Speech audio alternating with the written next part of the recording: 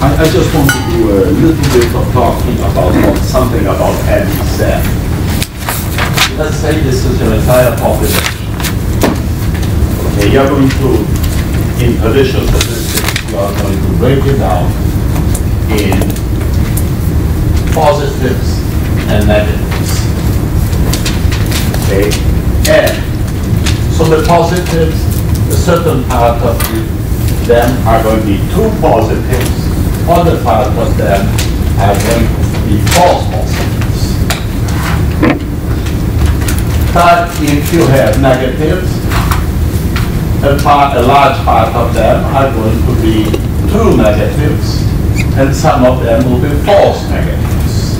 And that's why I was asking that question about the cost, which I think have explained very well, is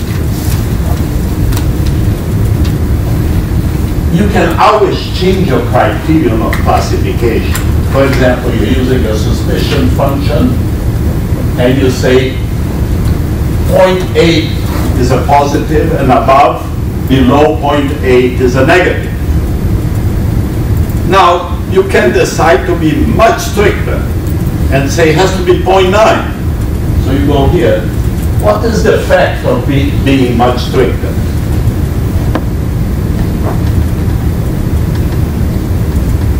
get more false positive. A little bit louder. You get more false positive.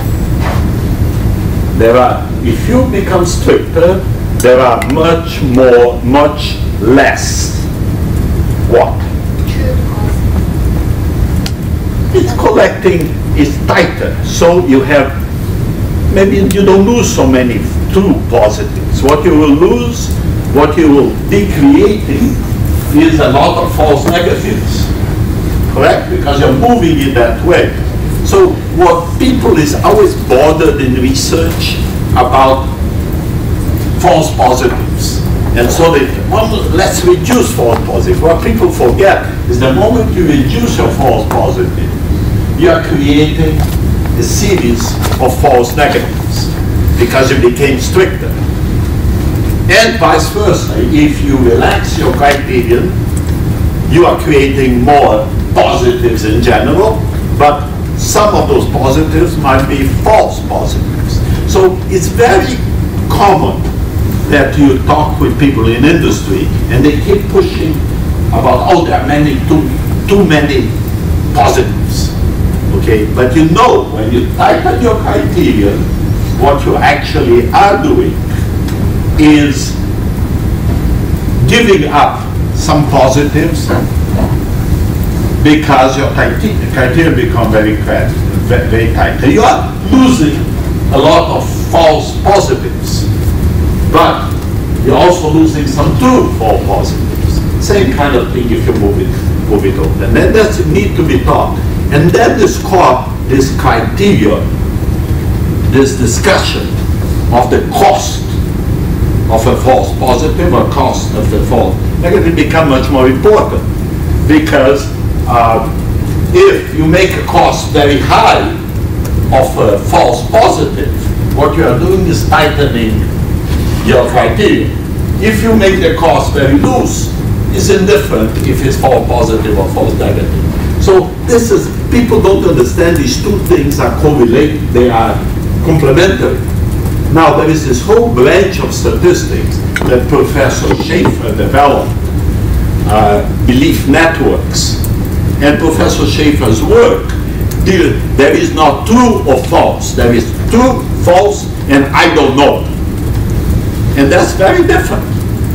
And very different. That's not widely used, but you are going to hear, most of you are in the AIS survey class, and you are going to hear uh, Professor Shafer explaining what he has been working on.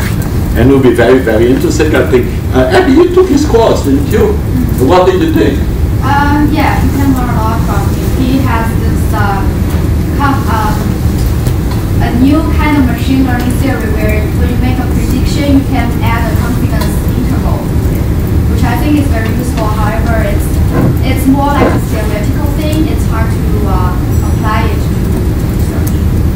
Yeah, and, and and they, they, NASA have used some of his uh, belief networks, etc. It's worthwhile for you to kind of understand what it is. And I think maybe one of these days I'll ask Professor Shafer to do a workshop in our seminar series and talk about the basics of uh, uh, belief functions. And if he doesn't want to do that, I'll ask Raj Srivastava to do it. So, I'm sure he'll do it. Uh, but it's, it's very interesting to think about that. And the other thing to call your attention again is that this idea of the cost that you include here is a very important idea because it, will balance dramatically uh, these balances of your sample and will make you your problem more realistic. But in general, attributing a cost is very difficult, right? It's, uh, it's very arbitrary. But, and if you know the process, then you can do, think about CPA firms. See, what is the cost for a CPA firm if they make a mistake and they give a clean opinion to a company that has material error? can go out of business. Can't hear you. It, it, can become ongoing concern. Uh, Remember Arthur Andersen? You know, the auditor, they made a huge mistake and the- company which existed for 110 years suddenly disappeared. Companies get sued when companies, when their clients go bankrupt. That's the reason that they get mostly sued. They also get sued when they, uh, when they, the situation that you describe. uh, they get sued when they, uh, when they leave audit and they would say, we left the disagreement to the client. So auditors don't like, they always say we, we resigned uh, in good faith or whatever. They don't like to say we are forced out, one or the other, because they could be sued. But main form of litigation comes from default. And the reason why come, it comes from default is because when a company defaulted, they don't have money left. And so who can be sued? The company can be sued, you can't extract any. So you sue the auditors. And so that's something for you to always have in mind.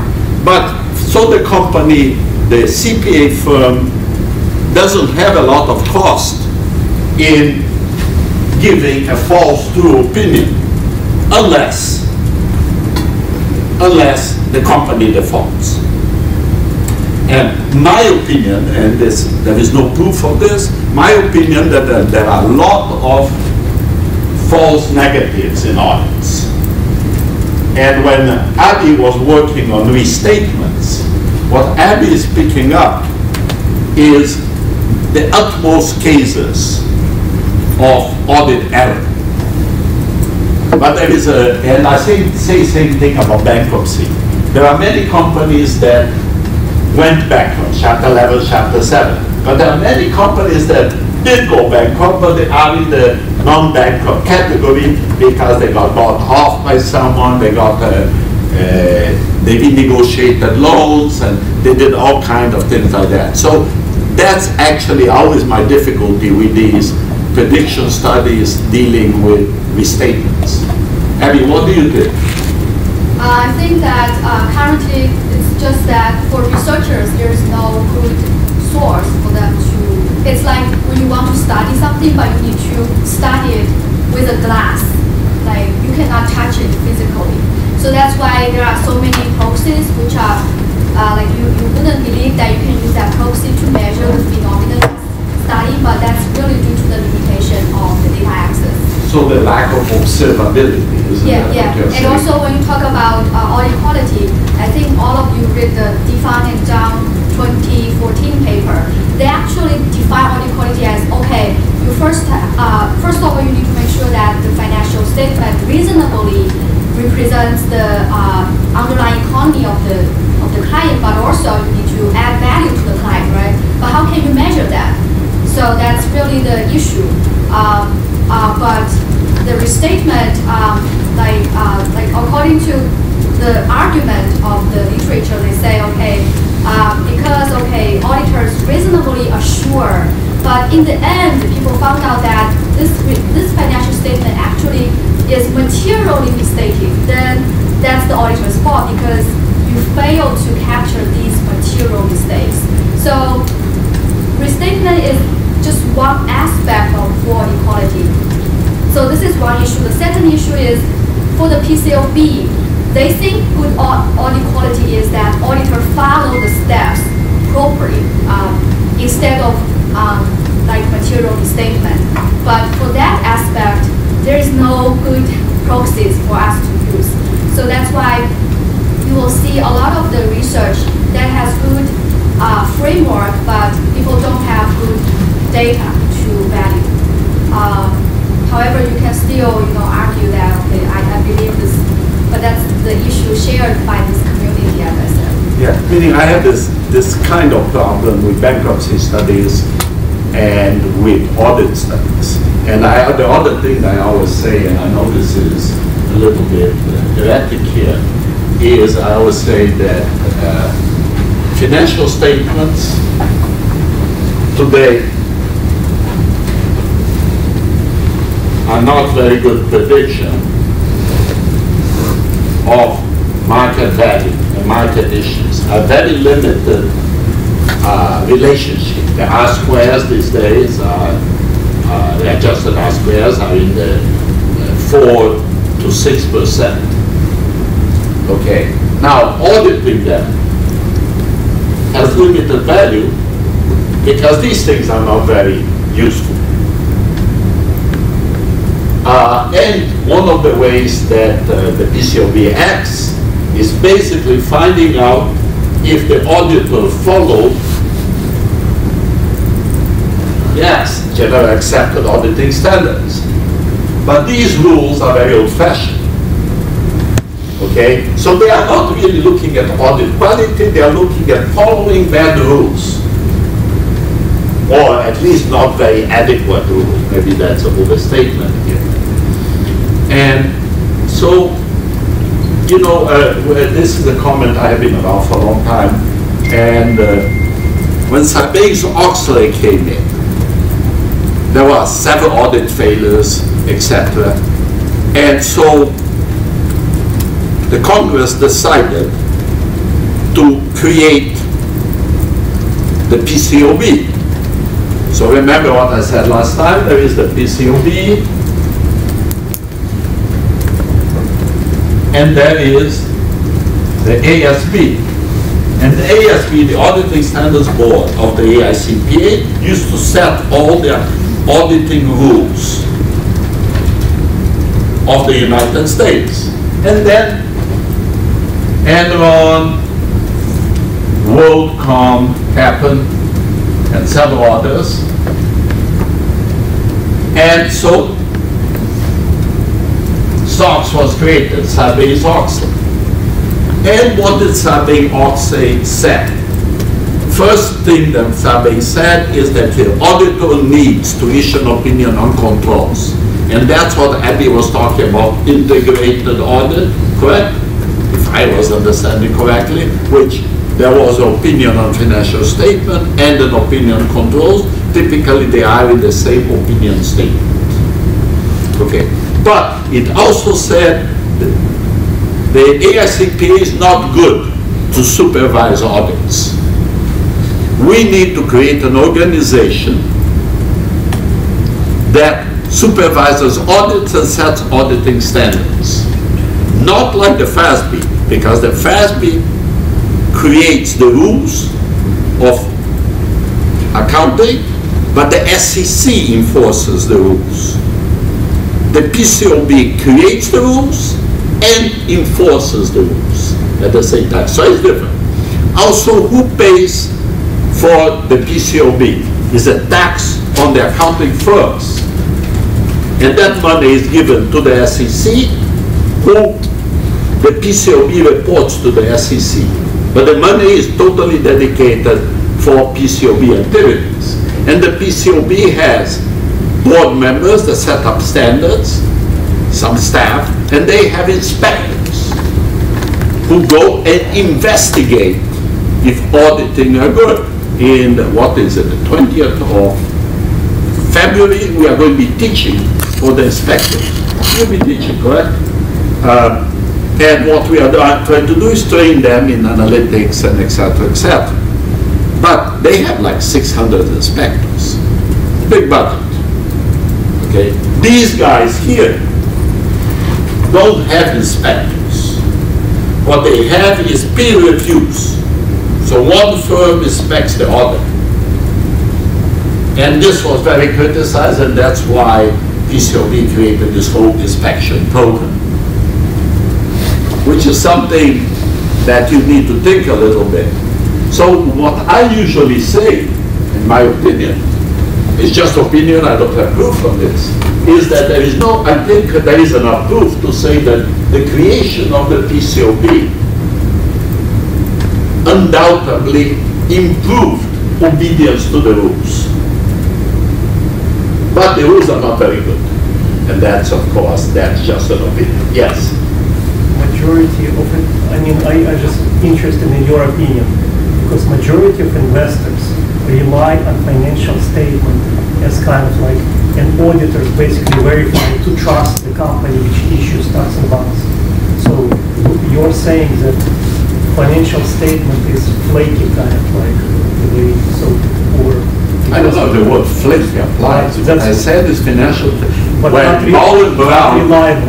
When Brown created the basic equation whereby market value is a function of financial variables, at that time, the R, adjusted R square was between 40 and 60 percent. And now we are down to something like 4 to 6 percent. You, you missed the last class, but the last class we were talking about, uh, we are talking about uh, uh, basically this particular phenomenon and uh, about the Baruch Lev's end of accounting book, which basically talks about that. And what, just to give you a summary of what Lev says, he says in the first four or five chapters, he shows basically this phenomenon. The number he comes up is like 5%. And then the end of his book, he says that other variables, non-GAAP variables as we call them, would increase substantially the explanatory value of financial statements. And those non-GAAP variables are oil reserves in the oil industry, patent stream on the drug industry, et cetera, et cetera. And he had several PhD students of his doing dissertations showing this. Then what else we said last class was that the world has changed and a lot of assets are not physical assets anymore. In the old days, you know what assets were, we talked about Pacioli here, was inventory to sell physical goods. So you counted physical goods, property that you had, and loans between, uh, between borrowers or between partners and et cetera, et cetera. Those were the assets. Today, most, many firms, like the most valuable firms in the world, are all virtual assets. Meaning, they are not assets. What is, how can you value the patent on office or cetera? And uh, the other thing is the moment you sell a copy of Office, you are not depleting your inventory. So it turned in that every day, these measurements that we have here are being preempted by the change in business habits and technology. And more and more, meaning what are the most valuable companies in the world these days?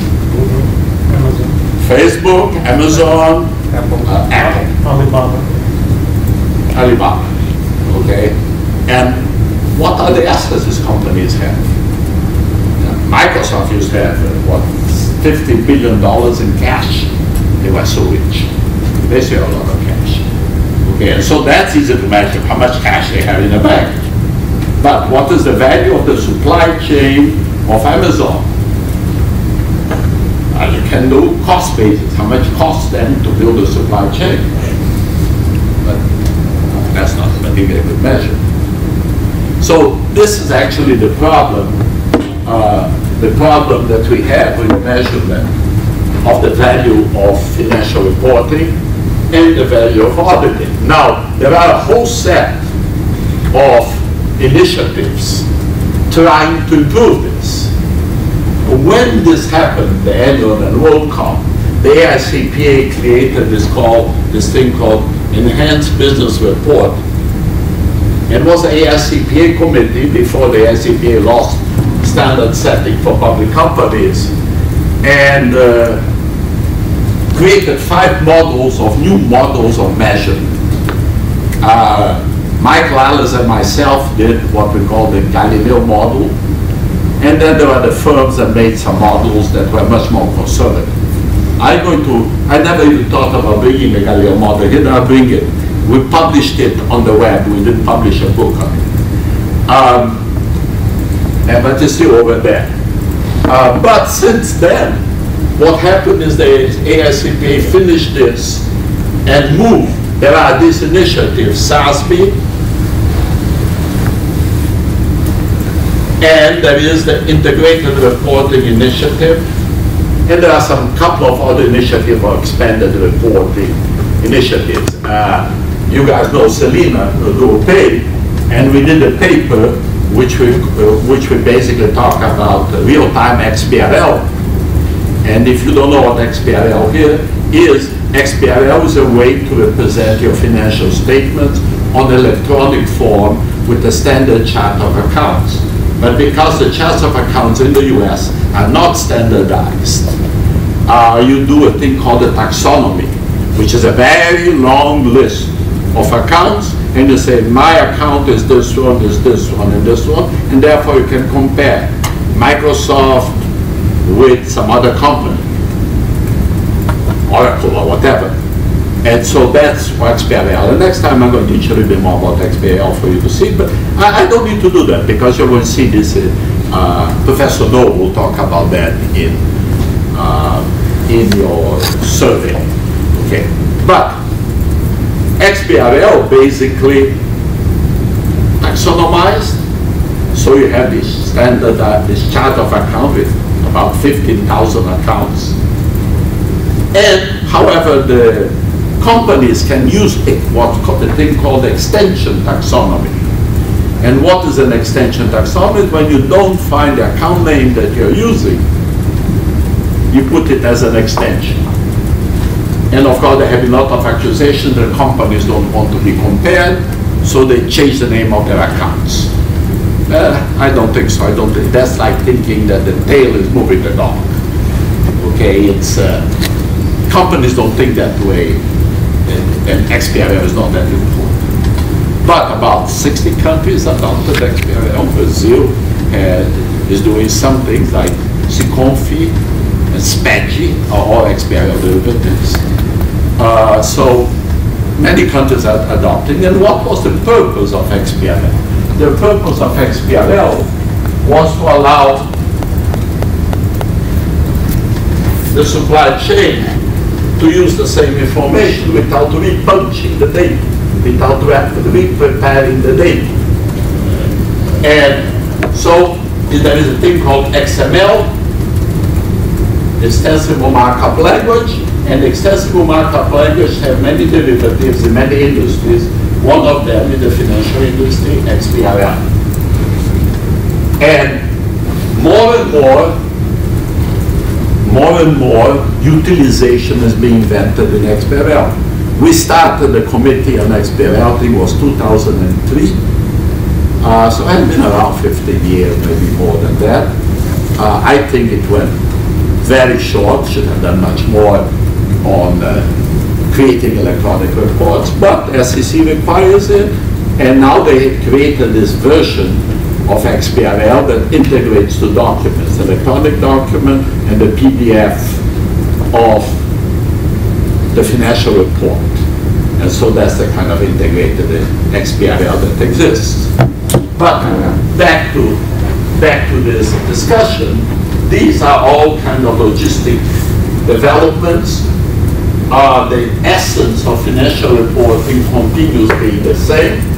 And every day financial reporting goes farther from representing sustainability, supply chain, intellectual property, all these additional variables that today explain largely the value of companies.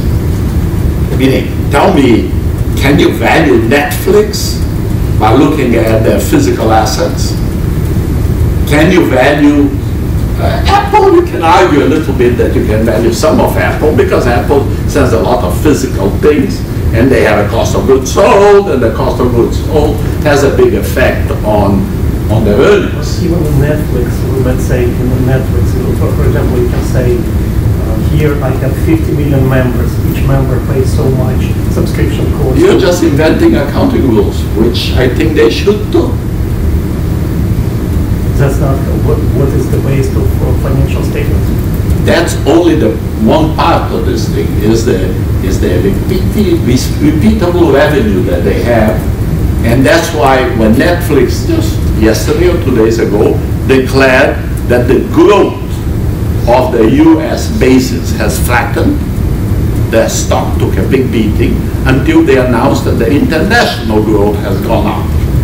And so they are totally ignoring the cost basis and the supply chain and uh, the other thing for these companies like Netflix and Disney, etc., the cost of the product, in the contracts that they have with uh, uh, producers of content is very, very important, and those things are very difficult uh, to measure under these rules because those things are very much like promises of payments of the future, contingent on this, contingent on that. Uh, I happen to see some of these contracts because of my daughter, and uh, they are really very intricate, and they are not captured very well with the rules. Now, I know he's defending the financial accounting standards. you, you can defend them, but they are, you can't deal with the four percent R squared or the five percent R squared. That's not discussable. And Professor Baruch Lev, who wrote the book, The End of Accounting, is probably the most published market researcher in the world by far. Okay, Bill Beaver was in the former generation. And uh, what he basically says, very conservatively, is that you need to extend the measurements to non-GAAP measures. That's, that's what he says. Okay, so what I wanted to do is just talk to you a little bit about this emerging, this emerging set of technologies. I can find them out here somewhere. This emerging set of technologies that are affecting research. Um, and so the, the big effect here that I'm talking about is how data is collected and how is it accumulated. And eventually, we're going to see Abby pick up her audit quality paper and create the exogenous audit quality paper, whereby she's going to, instead of looking uh, data and audit analytics, etc., she's going to try to relate some measure of audit quality into a whole set of exogenous variables that she's going to pick up. Anything from the impact of recent stream of tweets uh, to weather, to macroeconomic data, to cell phone tweets, go ahead and all kind of things that you that you can measure. Um, and so this here talks basically about about the measurement of that your smartphone does of your location. And there are two basically dimensions of it. One of it could be a GPS, and GPS is basically calculate the angle against a state geostationary satellite and tells you basically where you are. And then this technology that we have developed at the labs uh, the Jeep technology that based on the triangulation of two towers and the strength of the signal, you can establish where the person is. So there are two technologies, Jeep technology, GPS technology. GPS is the name they gave it and Bell Labs. Okay, now, what does that imply? Implies that most things that have a cell phone around them are geolocation be identified. Now, we talked last week in the other class about these exo- exogenous variables a little bit, and I, I did, I went through that whole set of background data, scanner data, what was the other, mobility data, and then we finish up with Internet of Things data. Now, are you going to think, are you thinking that reporting of the future will have any of that data? What do you think, Jimmy? Um, I think I think Jimmy is overwhelmed. The reporting should reflect those kind of those exogenous data to reflect the reality of So what, okay, I, I want young brains like Abby's to think about if you were the overlady of the universe and you could determine uh, reporting standards. You notice I didn't say financial reporting standards. Um, what kind of measurements you, you would like to give to your stockholders? You don't, wouldn't like to give it to stockholders. I say you'd require to be give, you'd be required to give it to stockholders. Remember, companies don't like to disclose. Why don't they like to disclose? Because like my students, I told you this, they don't like to be graded. So companies, the more, the least information they give to the owners, the principals as opposed to the agents, they are happier because they have some manipulation ability. Yes, no, maybe. So Eddie, what would you give to the public if you were head of the FASB? ASB because we would be financial, right? I, uh, I don't know. Don't know? I'm. I think it's the first time I hear Abby saying I don't know about something. It's a tough question. But the, I'm thinking that like now we have the standardized reporting system, and people argue that then you can compare different then the, the, and then if we use non GAAP uh, like measures, then people Non-GAAP say measure. that, yeah, then people say that, oh, we cannot compare because different firms use their own standard, and then since people don't want to be graded, they, they can interpret, say, okay, let's say Netflix versus Amazon, and Netflix say, oh, say, oh, see, I have many subscribers, and then Amazon say, hey, we have many active users. So how can you compare in that condition? Uh, you, you can incorporate so many non-GAAP measures. Mr. Vox likes here the number of subscribers that Netflix has, okay, as a measure. Could you compare that with the measurement of uh, United Steel, a very physical asset-rich company? Um, a company that uh, owns a lot of real estate? So how would you deal with that, Julie? I am expe- expecting these young brains here to come up with an interesting idea. maybe compare within the industry instead of like over um, over over the industry. Okay, so you went back to the concept of industry. Yeah, that's what most measurements of traditional does. You say industries compare. But then there is a little problem called consolidation. Everyone know what consolidation is. When you get a financial report, I don't know where GE is is at this moment, but let's talk about GE. Uh, 10 years ago, GE was 40% financial, like a bank. And then there was X-ray, uh, all kind of different lines of business. And the result was financial statement of GE that was basically a summation of all of them. I always say consolidation is obfuscation. The moment you mix things together that are very different, it's very difficult to debug them. There is a rule which is segment reporting, FASB 14, maybe there is a new number around it, which basically says companies are required on a footnote to state their main lines of business. But they are only required to do very little detail. And furthermore, they are allowed to decide what's a line of business. So when I was at AT&T, they said, we are in the business of information management and movement. We have one line of business.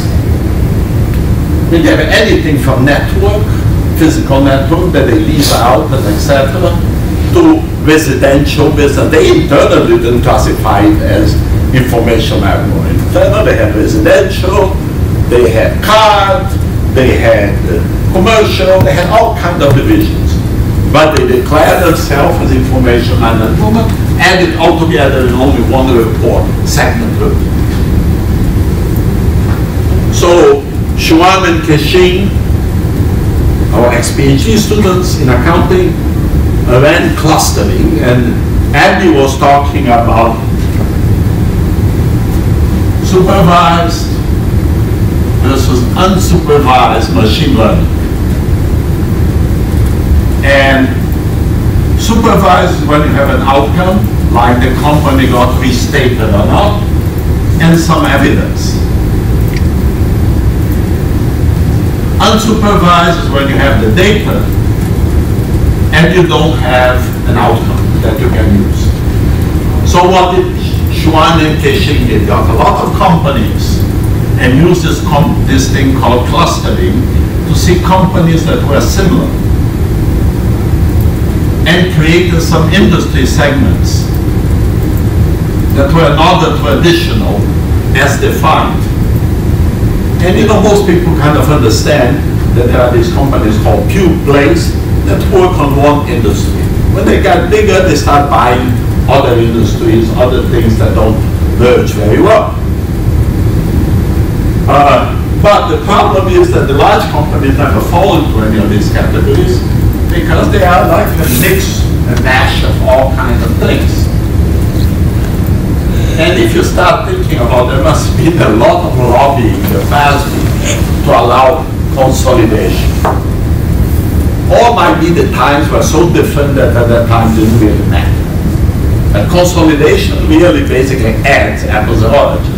You know, you you pick up this the Vox example here of Netflix and you add the inventory that Netflix holds to some subsidiary of Netflix that sells cement. What does that measurement mean? Absolutely nothing. And that's the problem with, with consolidation. And what the FASB and the PCAOB do is create these very narrow rules to resolve one particular problem. But they haven't resolved the serious, serious problem that we that's emerging, that the meaningfulness of this decreased substantially. Organization SASB is actually an important organization. They try to create measurement sustainability. They have gone and classified, I don't know, 60 different industries of how they should be measured for sustainability and other measures. Uh, the guy, Bob Herz, who talked here about two years ago to all the uh, students and came by last week and got interviewed by Celine and myself. Uh, he is one of the founders of SASB. And he's trying to say that companies should be measured in a more sustainable method and classified into areas that are reasonably comparable. Now this destroys some of your accounting students' view of the world. I'm sorry, I don't, don't mean to make you hate accounting, But this is the problem that's going to emerge. Just imagine, tell me what's going to happen when this number of four or five percent becomes one or two percent. You know, I, I have heard in conferences, people come and say, let's abolish financial statements. Because they don't inform. Yeah. But doesn't the financial statement use for tax purpose still? Yeah, the the IRS would have to come up with their own rules of how to measure things, and they do have it. The, the IRS doesn't follow FASB rules. The IRS have many, many rules about, uh, about how to measure certain things. Yes, you know, she's a good Korean girl because she immediately thinks about money. because that, that's of course, that's what the concern is um, of all these measurement things. At the end, countries need money to live. And if you change the accounting rules, you might be decreasing the earnings of the country. And of course, they need to build roads, they need to pay social security, they need to do all kind of different things.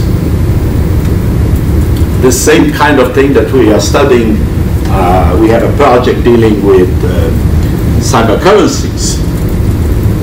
And this project is Katrina and Philip who are working on with Luca. And uh, in that project, you know, men, they're thinking about Bitcoin and other cyber currencies. And if you start thinking about this, problem with those things is that the government cannot measure the economic activity in them because they're encrypted and they are in a blockchain. And so what happens? People can, who is using Bitcoin the most? Illegal businesses. Businesses that don't want to pay taxes. And so what happened in China and in Korea? You know what happened in Korea? No Bitcoin allowed. Okay, so and China, same kind of thing. And China is going to be proposing their own e-currency. And what's going to happen there? They're going to have a back door whereby the government can go and see the economic activity. Makes a lot of sense. I mean, governments need money to live, or they can't take care of their citizens.